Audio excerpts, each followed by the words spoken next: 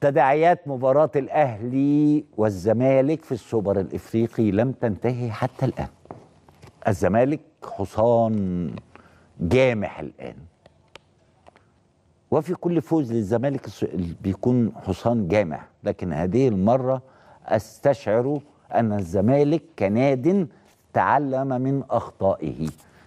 اللي هو ما نبالغش في الفرح انت فزت في مباراة انت غلبت الاهلي الاهلي كان وحش قوي انت كنت احسن من الاهلي لكن ما كنتش كويس قوي.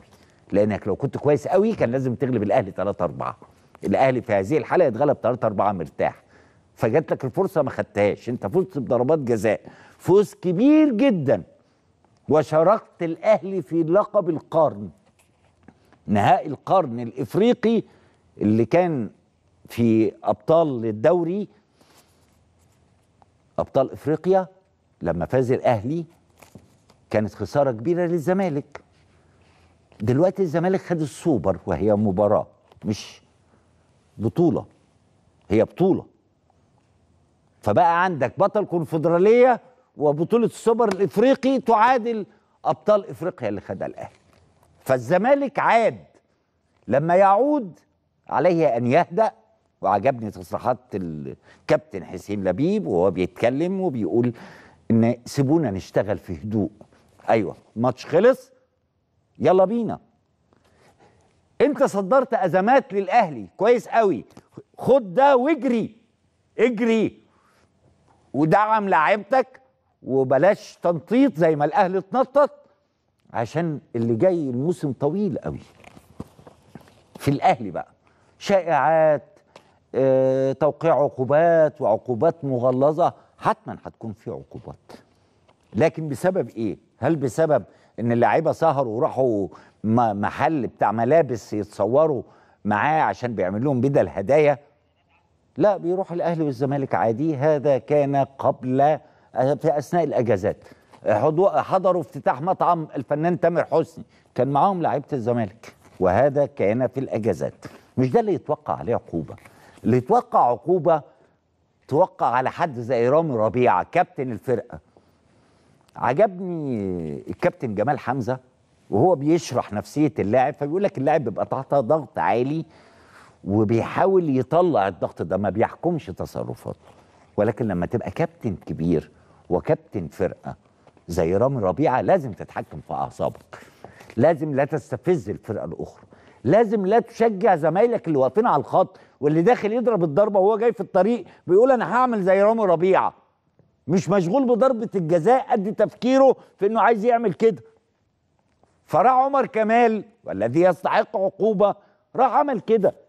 أنت بتحفز بتلاغي الجماهير ولا أنت مركز في الملعب؟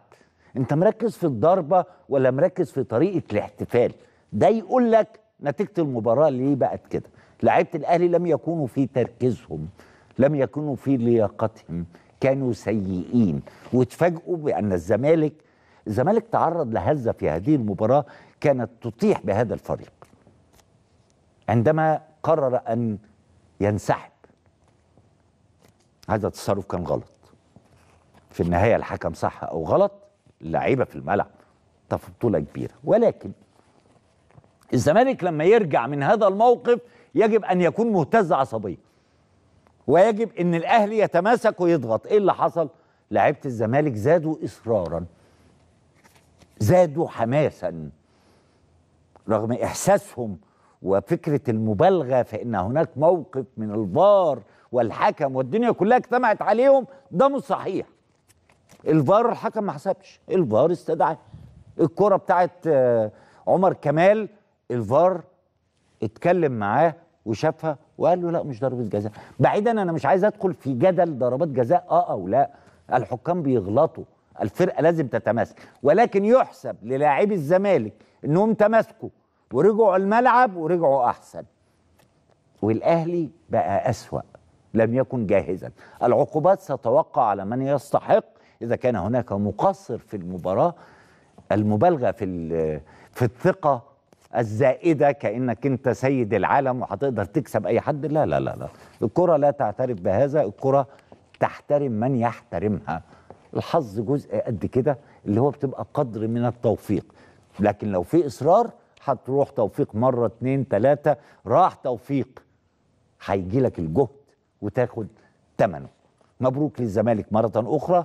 الأهلي يجب ألا ينشغل الحمد لله إن مفيش تصريحات عليه أن يركز في أن يعالج أخطائه. عنده بطولة قادمة الشهر القادم بطولة الكأس المصري النخبة اللي فيها الزمالك وفيها بيراميدز وفيها سيراميكا كليوباترا. أي هزيمة أخرى ستهز الأهلي لنهاية الموسم؟ أقول لكم لو الأهلي لم يحصل على هذه البطولة لن يحصل على أي بطولات في هذا الموسم. زائد عنده ماتش العين في بطولة الانتر كونتيننتال الشهر القادم.